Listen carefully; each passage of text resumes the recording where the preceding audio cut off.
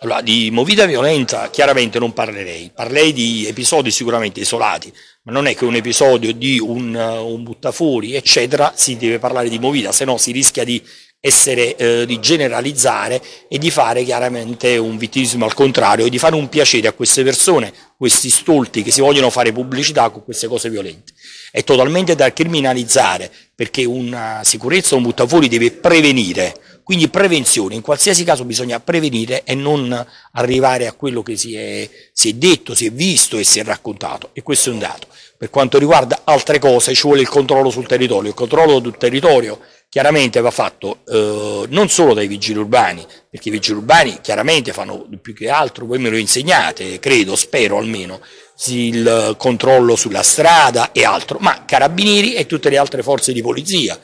Quindi credo che a loro eh, bisogna dire di fare una, di, di una stretta. Stesso stamani ho raggiunto anche il sindaco telefonicamente, al quale dire di prendere un tavolo di sicurezza con tutti gli agenti, tutte le forze di polizia, affinché, voglio dire, perché Salerno è una città eh, tranquilla, serena, e noi non ci dimentichiamo qualche giorno fa quello che è successo in città molto più grandi e blasonate della nostra dove si spara all'impazzata. Questa città, ringraziando Dio, gli episodi violenti di questo tipo Far West non accadono, è una città serena e quindi vi prego di non macchiare per alcune dichiarazioni di poche persone un'immagine di